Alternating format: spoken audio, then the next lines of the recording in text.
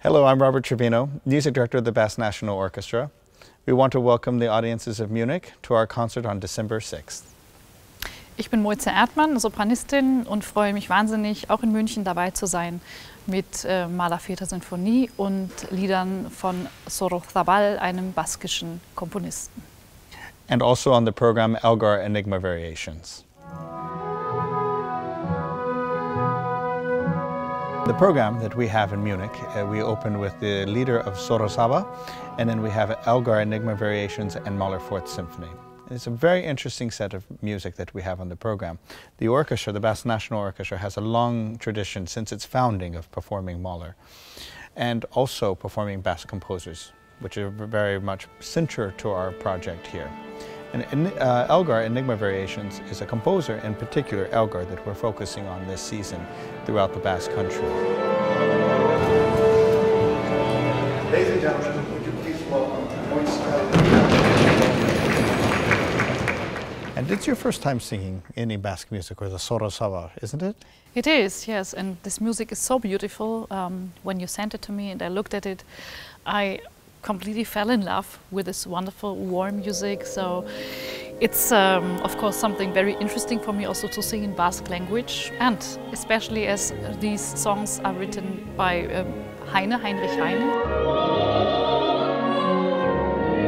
So actually it's a mixture of German and Basque. Yeah, of course, yeah.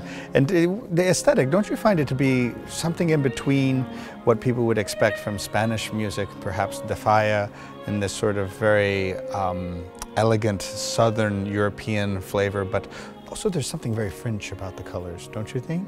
Yes, and also the rhythm, these uh, fünf Viertel. yeah? yeah? Da da da da da. It's like a dance, and it's it, it, it completely goes into the body. But uh, it's not your first time singing Mahler. You've sang this no many, Mahler many Fourth. I have I have sung many many times. Yes. Yeah. Uh, you know, it's interesting because it was performed in Munich for the first time. One, yeah, Yes. it was one of the Oh. first performances of all time I for, for the. Mahler Fourth Symphony was in Okay. Munich. Mhm. Uh, unfortunately, it wasn't a very big success for Mahler, but uh, but now, of course, time has gone by and everybody understands that it's a spectacular piece of, Of music, Yeah. full of so many different things. You know, you almost have to think, at least here in this Basque country, it seems that it's a transition point. You know, from the south to the north, there's so many different influences, and culturally and musically, there's so many different influences. And you hear that, I think, in the Sorozabal songs, but certainly, I think, in the same way that you hear Mahler's music, you can't say it is Austrian. You don't say it is No, no, no. German, or it, it's quite pan-European in many ways. I think especially in this fourth symphony of, of Gustav Mahler, you have heaven and earth and death as well. So there are so many colors. Also the text, the poetry.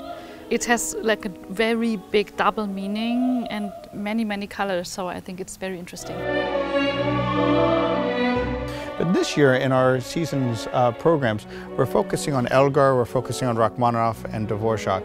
And, um, and also Mahler really fits into this category as well, which are composers who at the beginning of their composition career were not very well accepted. They, they were great musicians, very well accepted in other departments. And so we have focused this year in, in the Basque country on the music of uh, Elgar because it's, it's close music to my heart. But what is very clear to me as a conductor is that his influences come from France. He has come from Italy. They come from Germany. They come from the music of Mahler. They come from the music of Brahms, Bruckner. And in a way, I think that in the same way that the Basque country is operating and working within many different aesthetics and different cultures, Elgar is also the same, just on the other side of Europe, and we get to present all of that. So I think it's a very interesting um, type of uh, collaboration between the three composers.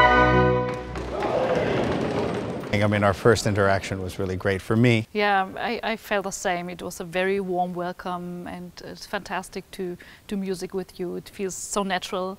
Thank and you. That we have the same like kind of feeling about the pieces, and um, Yeah, we didn't really have to talk very no, much. no, yeah. It was pretty that's always easy. a very good sign. Yeah, yeah, yeah, yeah, yeah. No, and the orchestra is so friendly, and yeah, it's it's just nice to do music with all of you. Yeah. So we look forward to, to everyone coming to the concert and just getting to experience some great music with wonderful musicians. Okay?